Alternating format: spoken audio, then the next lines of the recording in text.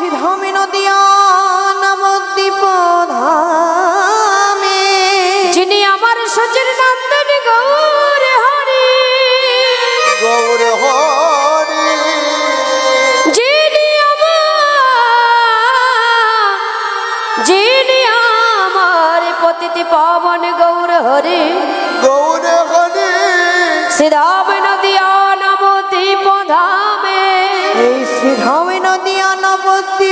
ধামে প্রভু আমার সচি গর্ব সিন্ধু মাঝে অবতীর্ণ হলে।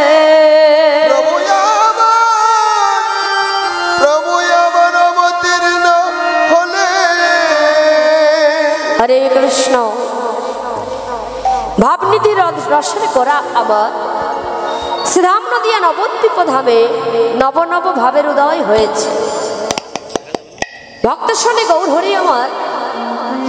সারাদিন হরি নামের খেলা খেলে, কৃষ্ণ নামেরই খেলা খেলে, রজনীতে সুরধনী তীরপণে গিয়ে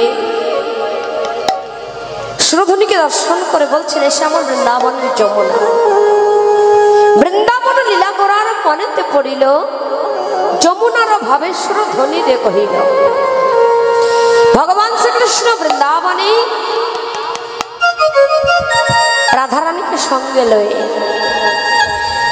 বৃন্দাবনে গোপীগন্ধেরকে সঙ্গে লয়ে, যমুনার তীরে যে রাসলীলা করেছিলেন, সেই বৃন্দাবনের ভাবে, পুরবের ভাবে বিবর হয়ে নবদ্বীপ ধামে প্রভুর আমার মনে পড়ে গেল বৃন্দাবনের কথা তাই গৌর প্রেমানন্দে হরি বল হরি আচ্ছা বৃন্দাবনে হচ্ছে যমুনা।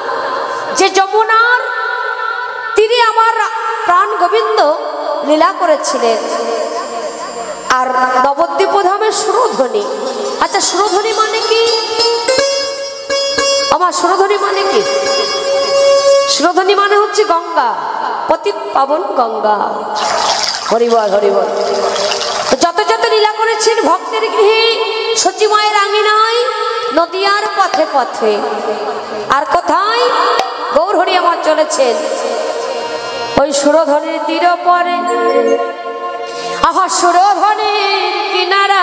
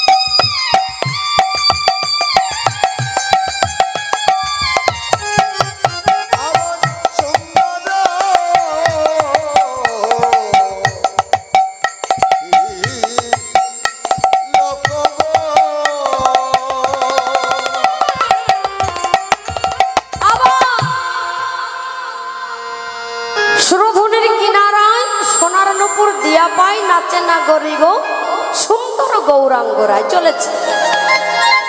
তো গৌরীকে দেখতে কেমন হয়েছি? সুন্দর কপালে, সুন্দর তিলক গো। আবার আবার সুন্দর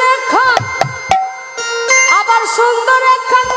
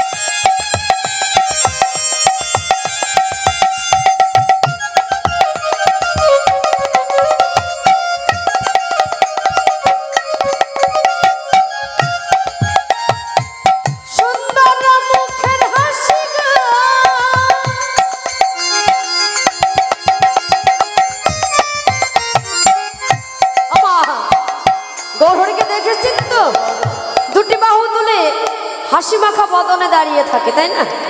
তাই তো? তো বাহু তুলে থাকে কেন? দুটি বাহু না তুললেই যে ভগবানের চরণে আত্মসমর্পণ হয় না। জগতের জীবকে তিনি শিক্ষা দিলেন যে যখনই ভগবানের নামার সাধন করবে, মাঝে মাঝে বাহু দুটি উত্তোলন করবে। তাই গৌর হরিব সুন্দর